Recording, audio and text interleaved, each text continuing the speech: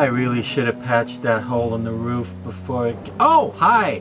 How are you? Nice to see you here in the Mask Fan Attic once again with me, Dr. Lady, here in the attic above Horror Hotel where you're always welcome to creep around at your own peril, of course, in the search for cool and interesting old latex Halloween masks. So tonight, fellow Halloween enthusiasts and monster lovers, uh, look what we have discovered here. It's a little something created by none other than Don Post himself, Don Post Sr., way back in the early 1960s.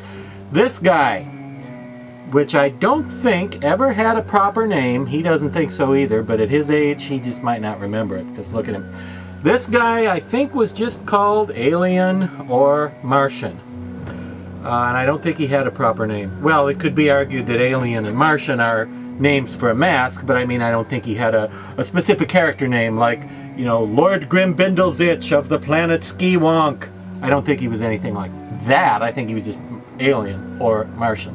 Anyway, created in the early 60s by Don Post for use in uh, live spook shows, which uh, something they used to do back in the day.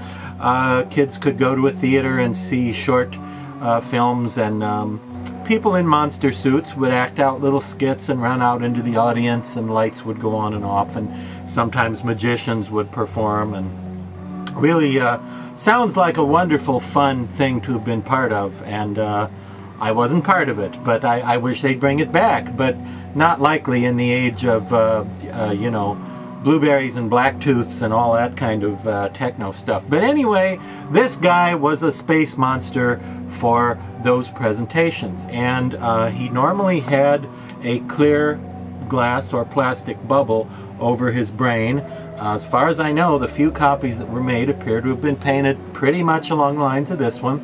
Uh, light gray with a pink brain. In case you're watching this on a black and white computer and you don't know that this is gray and pink with the, yeah.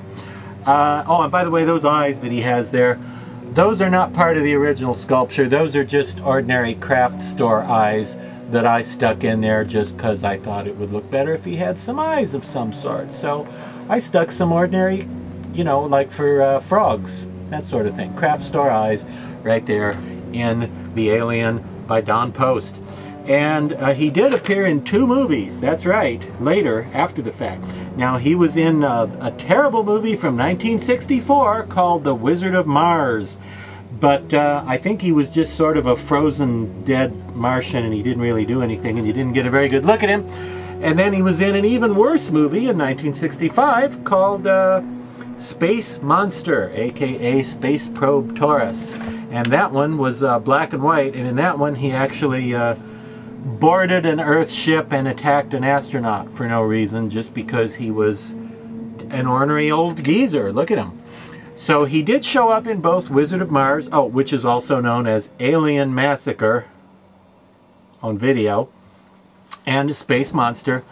Uh, yeah, in the 60s. And as far as I know, I don't believe this guy was ever put into production or sold to the public or mass produced or anything like that. But there are a few castings still in existence, as this will attest to.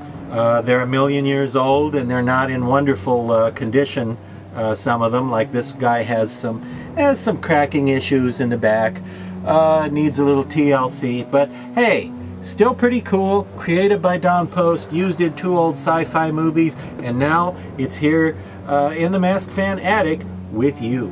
And that's all till next week. Drive safely and watch out for those alien massacres.